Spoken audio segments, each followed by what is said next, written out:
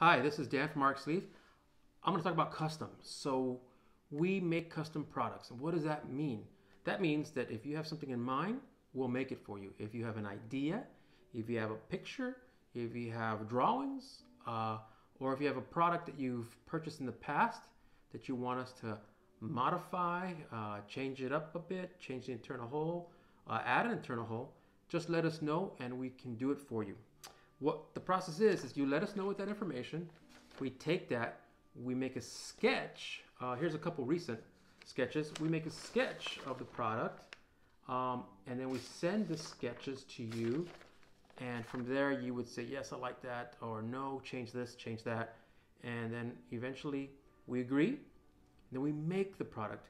We can make the product out of a, a, a clay. Um, we can make it out of a, a ceramic. We can make the product um, whatever is best for us to eventually make the mold. So here's an example of something very custom.